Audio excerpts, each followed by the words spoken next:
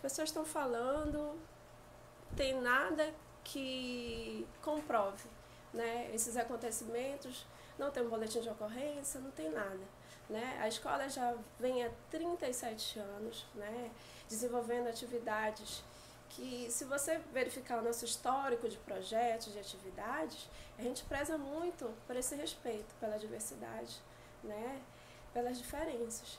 E nós, ao longo do ano, de todo esse tempo, sempre desenvolvemos atividades voltadas a isso. Né? Eu me admiro muito dessa divulgação, a gente até se espanta né, diante disso.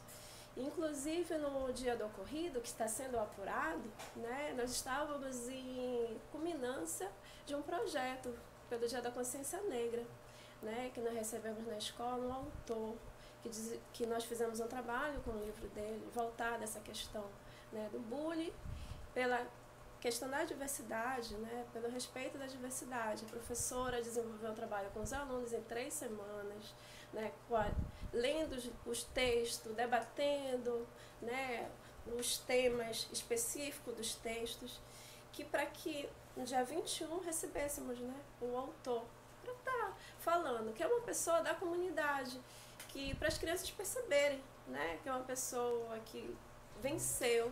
Mas né? mesmo com tantas programações a respeito desses temas, né, é, e tudo mais, eles relatam, né, eles afirmam e reafirmam, tanto alunos quanto ex-alunos, é, que a diretora, a diretora não, a dona Zuca, né, que é dona da escola, não é dona, não é dona da, escola. escola. A dona da escola sou eu.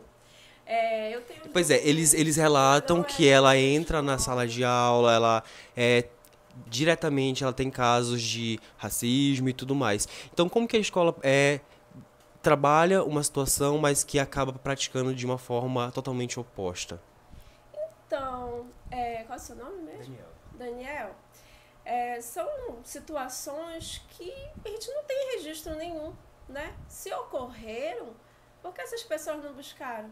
Via lei, resolver.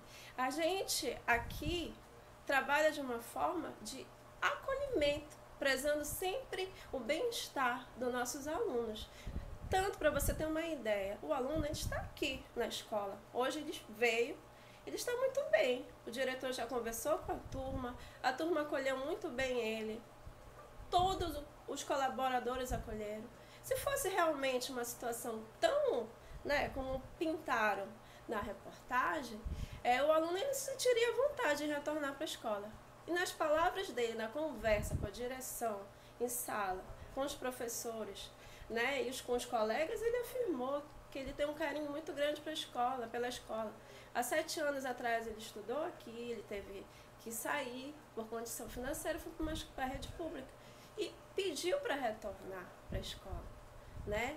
E a gente é, se colocou sempre, né, a favor de causar esse bem-estar, de acolher e resolver a situação da melhor forma possível. Tanto que a funcionária, a colaboradora em questão, não foi afastada. Ela está afastada. Colaboradora, no caso, Dona Zuca. É, é isso? A colaboradora, conhecida como Dona Zuca, Dora Célia, né? Ela foi afastada para que a gente fizesse a apuração. E a família ela se encontra agora na escola, conversando com o diretor.